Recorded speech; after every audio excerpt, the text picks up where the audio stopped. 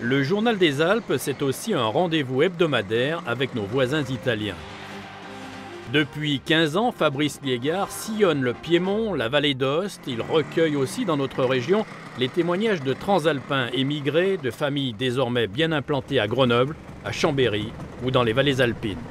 Salve à tutti C'est toujours ce que, les gens nous disent. nous disent euh, il y a un ailleurs juste à côté de nous. Euh, bien souvent, on n'a pas le courage euh, d'aller vers lui. Vous nous permettez un petit peu, de, par petites touches comme ça, une fois par semaine, bah, de toucher du bout du doigt cet ailleurs et une autre réalité, une autre façon d'appréhender la réalité alpine. difficile, sì. Cinque supermercati. Sì. C'è un Simpli. Euh, L'Italie, ça vous gagne, quoi. L'Italie, c'est c'est des rencontres, c'est des rencontres, c'est une façon de vivre, c'est une culture, c'est bon. Je ne vais pas énumérer tous les clichés, mais c'est vrai que quand on aime cette langue italienne aussi, euh, on s'intéresse à l'histoire, on s'intéresse aux gens, et, et- et on fait des rencontres exceptionnelles. Un autre rendez-vous a rythmé pendant 20 ans les dimanches de France 3 Alpes, le magazine des sports 3 partout.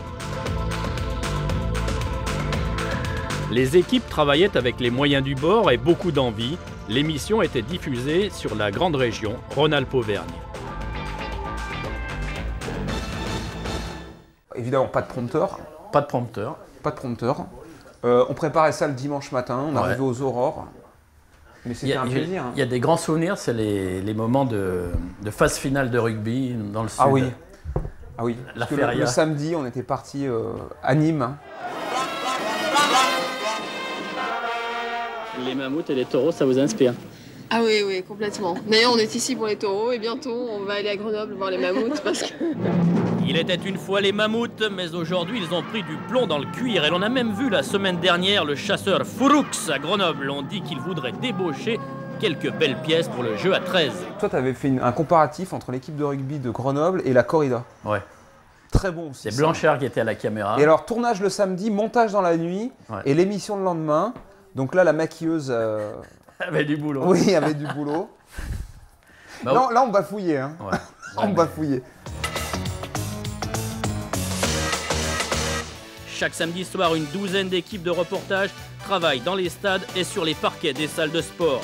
Sans oublier les magazines tournés en semaine dans les 12 départements de Rhône-Alpes-Auvergne, mais aussi en Suisse, en Italie et partout où nos champions sont en évidence.